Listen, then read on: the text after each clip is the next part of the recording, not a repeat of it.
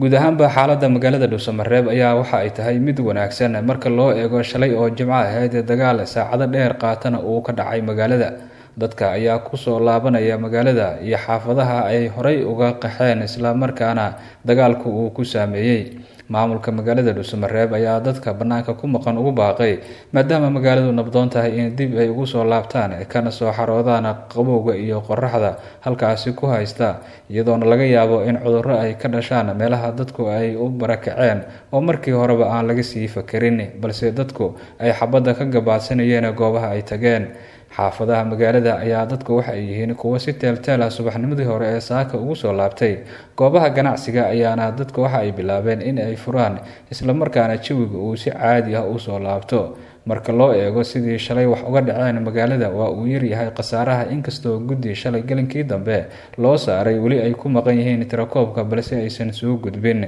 Xaalka ayaa waxa uu yahay guud ahaanba mid degan iyadoona dagaalkii shalay ka dhacay magaalada uu xaafado badan saameeyey islamarkaana ku fiday. Dadka ayaa horey inta badan magaalada uga sii barakacay. Walow qaarkood shalay lagu dul dagaalamay si lama filaan ah iyagoo guryahooda ku jira dadka shacabka ah khasaarihiisa ayaa ah mid aan weli la sheegin oo inta badan dadku xaafadaha lagu dagaalamayay waxa ay ahaayeen kuwo ay ka maqan yihiin.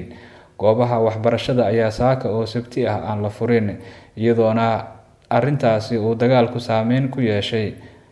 qaar ka mid a iskuullada ayaa imtixaan saaka u fariisan lahaa balse waa uu baaqday. Maamulayaasha iskuullada oo aan xiriir la sameynana waxa ay noo sheegeen in dib ay ardada uga sheegi doonaan xilliga imtixaanadaasi la qaadi doono.